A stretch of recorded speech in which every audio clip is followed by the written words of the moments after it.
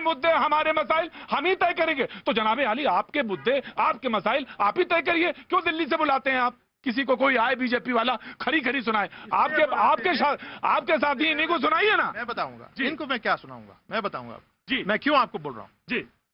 क्योंकि जो भी बात 5 अगस्त 2019 को जब 370 को यहाँ से अब्रोगेट किया गया that was an unconstitutional, undemocratic, illegal, irrational step, a blunder done by Prime Minister Narendra Modi for the country. और वो मामला तय हुआ थ्रू पार्लियामेंट क्योंकि पार्लियामेंट में नंबर्स थे। और यहाँ पर जब वो आपने फैसला किया वो करने का आपने पूरी कश्मीर गाठी को बंद कर दिया।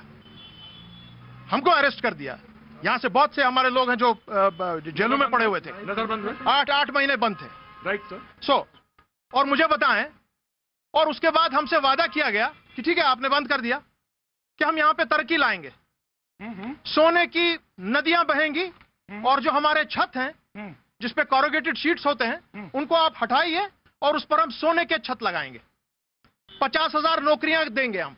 मैं अपने बीजेपी के अपने अपने अज़ीज़ से कहूँगा जरा मुझे बताएँ क्या आपने एक हज़ार नौकरियाँ यहाँ लाई हैं? आपने वायदा किया fifty thousand jobs for the for the youth have you given one thousand jobs are the jobs right मैं, पहले तो जवाब वो देंगे आप कि वो जो ट्रांजिशनल था स्पेशल प्रोविज़न था टेम्परेरी प्रोविज़न था बिल्कुल। वो वो अनकॉन्स्टिट्यूशनल कैसे देखिए मैं शाह साहब को बताना चाहूँगा। हाँ। मरहूम शेख मोहम्मद शेख शेर कश्मीर शेख मोहम्मद अब्दुल्ला ने सदन में कहा असेंबली में कहा, उन्नीस सौ चौरासी में, अगर आपको चाहिए, मेरे पास अखबार कटिंग मौजूद है। उन्होंने कहा कि दफ़ा 370 कुरान की आयात नहीं है। इसको हम कभी भी हटा सकते हैं। और इन्होंने जो बात कही है, डेवलपमेंट उसके बाद हो गई।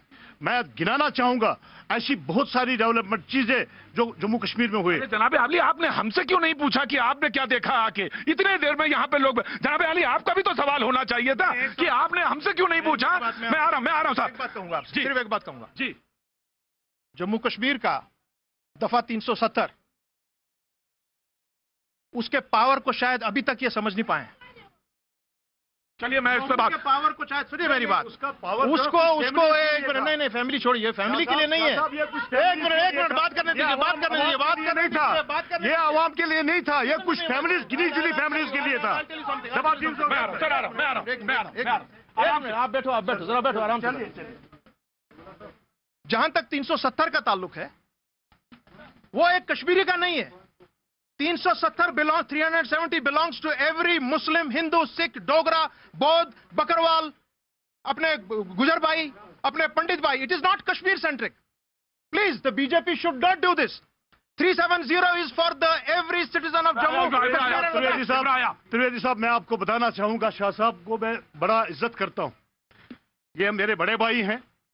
यहाँ यही लोग ये जो मेरे साथ बैठे हैं मज़हब का तड़का डाल के दफ़ा 370 के आड़ में यहाँ असम असेंबली इलेक्शन कंटेस्ट कर रहे थे। आज ये बताते थे लोगों को अगर दफ़ा 370 हट गया हिंदुस्तान के हिंदू बसने आएँगे। आज दो साल हो गए मुझे बताए कौन हिंदू यहाँ बसने आया? ये सिर्फ़ अपने मज़हब के- को तड़का डालने के लिए दफ़ा 370 की Right, मैं आ गया आ गया ऑफकोर्स आ गया आ गया वाह मेरे भाई। उधर मैंने पूछा था कि कहाँ से आप वो कहाँ के पुचका बेचने वाले हैं? तो बोले हम बिहार से बेचने आए हैं। अच्छा भाई ठीक है इधर बिहार वाले थे इधर भी बिहार वाले थे। मैं आया आपको सर जी जी जी जी जी जी जी कौन जिला से है बिहार से? वो मुंगेर जिला के हैं। भैया जी पूरी हिसाब किताब रखते हैं। सर मुंगेर जिला के हैं। और मैंने पता कर लिया मुंगेर जिला में कहाँ से है। मैं मेरी शादी बिहार से जी? मेरी शादी बिहार से तो बस ठीक है आपकी ससुराल इधर है उधर ससुराल है और इधर मैं बीजेपी वाले और तमाम लोगों से कहता हूँ इधर छोटा सा घर दिलवा दीजिए मुझे। छोटा सा घर दिलवा दीजिए अब तो कोई दिक्कत नहीं है। आपने ये सवाल मुझसे नहीं पूछा कि आपको फ़र्क क्या नज़र आया? मैं बताऊँगा बिल्कुल बताऊँगा। जी। प्रतीक जी। हाँ। ये जो सोफी साहब ने बात की हाँ। अभी ऐसे कोई गुब्बारे नहीं बने हैं जो भैया जी की इस एनक से निकल के वो रोज टिंटेड दिखे। मैं आऊँगा जो भैया जी ने देखा एयरपोर्ट से लेके यहाँ तक हाँ। कश्मीर और कश्मीरियों का बेहाल है। दो अफवाहें झूठ इन्होंने मुल्क को बोला।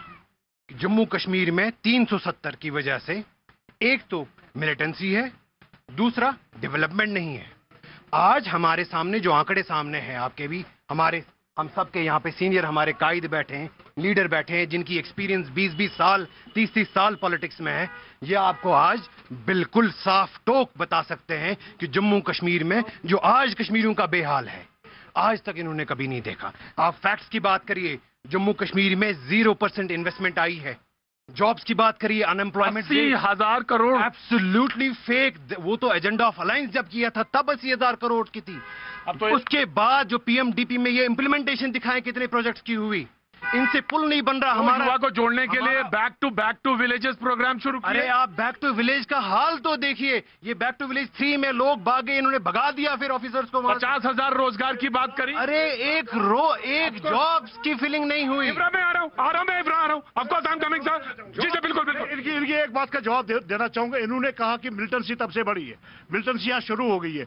मैं इन भाई साहब को बताना चाहूँगा जब सतासी के इलेक्शन हुए कांग्रेस सरकार दिल्ली में थी और यहाँ नेशनल कॉन्फ्रेंस सरकार थी। उस वक्त रेकिंग कही गई और यहाँ पे मिलिटेंसी हुई और चालीस लोग जो कबरबोश हुए उनके जिम्मेदार यही लोग हैं। जी, मैं मैं आ रहा मैं- मैं- मैं- एक सेकंड। हमारा देखिए ये इतिहास में फंसे हुए लोग हैं। ये जमे हैं इतिहास में। उससे ये बाहर निकलना नहीं चाहते रियलिटी ये है 2018 से लेके 2020 तक यहाँ पे 400 एनकाउंटर हुए जिसमें 600 से जायद यहाँ के कश्मीरी लड़के जो मर गए हैं उसमें 300 के करीब नौजवान सिविलियंस जो हैं आज आप आए दिन सुनते हैं कि फेक एनकाउंटर्स हुए हैं।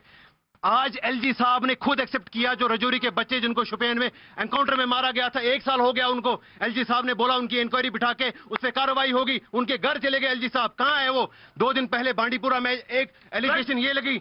ये बोलिए, देखिए, ये आपको एक तरफ़ से दिखाना चाहते हैं कि जम्मू कश्मीर में जी आज यहाँ पे जो है सब दूध की नदियाँ बह रही है। डल लेक खुशहाल है साफ़ शफाफ है। लोग खुश है। एक तरफ़ से आपको ये बोल रहे हैं दूसरी तरफ़ से ये भी आपको बोल रहे हैं कि जम्मू कश्मीर में हालात खराब है इसलिए हम आपको स्टेट नहीं देंगे। अरे एक चीज़ तो बताओ जनाब क्या ठीक हालात है या खराब हालात है? नजमू साकिब साहब का नजमू साकिब साहब मैं तो ये तो मानता हूँ। मैं बिल्कुल आपकी इस बात से यकीन तौर पे कह सकता हूँ कि दूध की नदियाँ तो नहीं बह रही, क्योंकि दूध की नदियाँ तो कहीं नहीं बह पा रही हैं।